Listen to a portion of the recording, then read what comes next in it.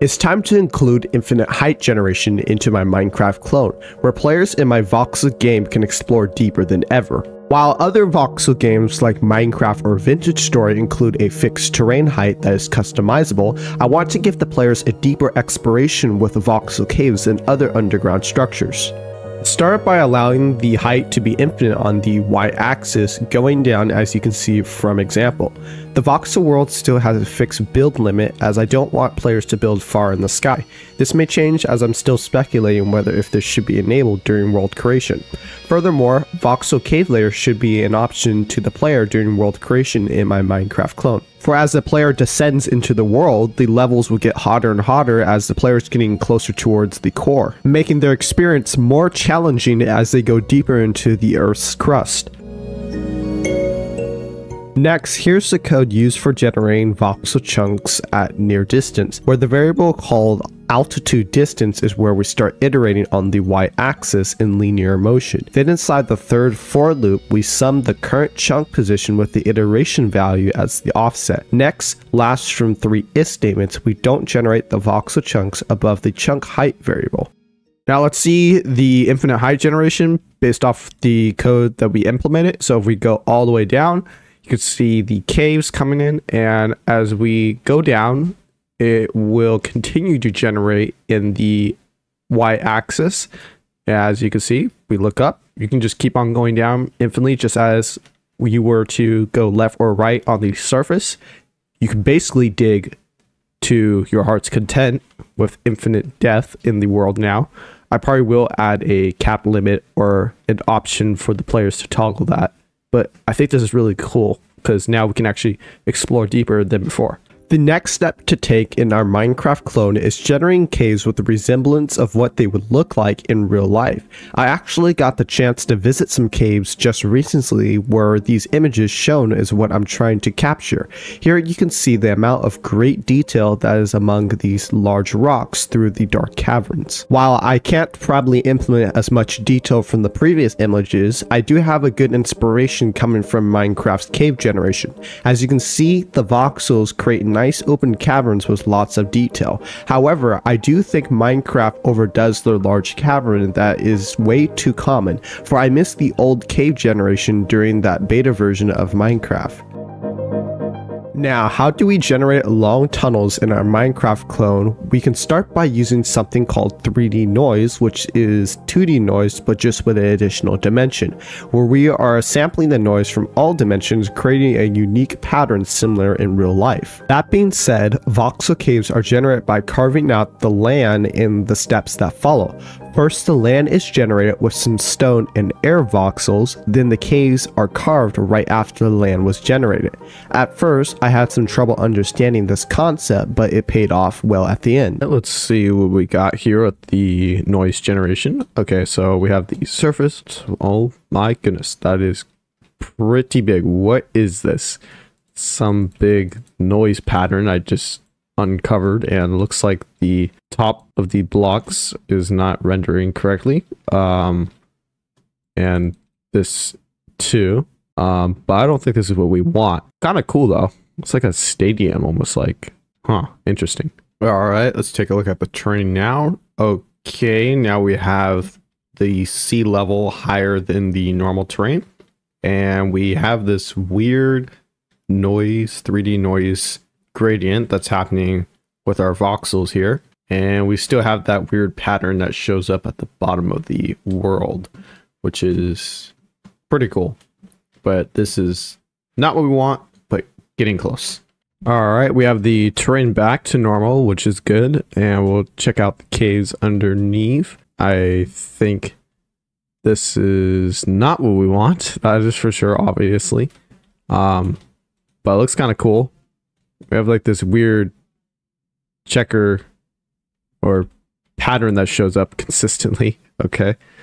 Um, but yeah, this is not what we want. But at least we fixed the surface. And we'll see if we can try to fix that. All right, let's go take a look at the caves now. And okay, this is something a little bit better than before. And we're getting there. Okay, actually, this really looks good. So all I have to do is just reverse the block types where this right here will become air and the rest becomes solid. Um, and the chunks are loading in very well. This is very good actually. So it's keeping up with the cave generation. And I was kind of nervous about whether this will keep up, but it's doing a good job of doing that. All right, now let's see what the caves look like. All right, there we go. Now we have more like worm caves all over the place. And as you can see, I made them go up to the surface and water is not affected. Um, I will probably fix that. I mean, you can keep on exploring these caves for a good while and they just branch off into different directions. Honestly, this is kind of resembles like a maze. But yeah, I think this is a little bit better than before. Um, I will probably tweak some stuff about it. Um, maybe a little bit more bigger. Maybe have some dead ends. It depends. I think this is pretty good for now, and I'm really satisfied with the result. All right, let's take a look at the voxel caves now. I changed the surface terrain a little bit so it kind of pops up. As you can see right here, we have a cave coming in through the surface. And right here, we are using cellular caves where the caves are generated in connective nodes. Uh, I find this actually more fast. Uh, I also use the fast noise algorithm, which generates this pretty quickly. As you can see, every single tunnel of the cave is all interconnected. This is what all caves should be like. Sometimes you will have little openings and hangovers. Uh, you can just go from the top and then have drop cliffs inside different caves. Um, the terrain height again is still infinite. I probably will make it either capped at some point or maybe just keep it infinite. Depends on what you guys want in the comments. Uh, but right now, I think these caves are looking pretty good. Uh, I can still break and place blocks, so that's really a good thing. Here's the final code on how I generate voxel caves in my Minecraft clone, where I have a method called genCave, which takes in the voxel chunk and some properties about it. Next, I calculate the XYZ offset and set a density value of 0.06. Lastly, we use these values to remap the noise function and check the density. If the simplex noise is less than the density, we have a cave. While there is a bit more to it, the result is quite similar to the way how Minecraft generates its cave systems. With the help of the Fast Noise 2 library, to which Finding Fortune referred me to, my voxel engine generates them very smoothly. So I noticed this bug when I was dealing with some optimizations for my engine and as you can see it's quite obvious in the terrain. We have like this line that goes all the way around the perimeter of the mountains or the hills, and it is kind of annoying. Um, don't get me wrong, this kind of makes really good mesa biome vibes because like all the terracotta that kind of lines up in the stripe from Minecraft terrain generation. But for other biomes where I just want to generate seemingly hills, I think this needs to be removed and hopefully an easy fix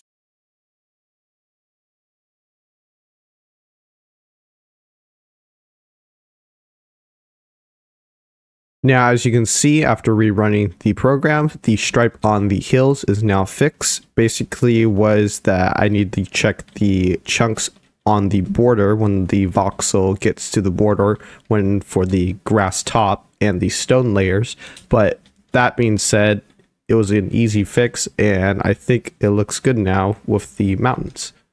With all finished, I decided to clean up some code and refactor the structure of my voxel engine, fixing some bugs from previous program errors and multiplayer connection issues. Turns out in my packet message decoder, the client side was causing a buffer overflow when I skipped the bytes instead of clearing them. Yeah, this was kind of a pain where each message was to be sorted in such a way for the voxel engine client to read correctly. Some other optimizations that I made to my Minecraft clone was smooth client and server communication for multiplayer, fast voxel chunk loading by direction, and optimal cave generation. More features are slowly being implemented as I continue to develop the game. Let me know in the comments below on what features I should add next towards my voxel engine. Have a good one everyone.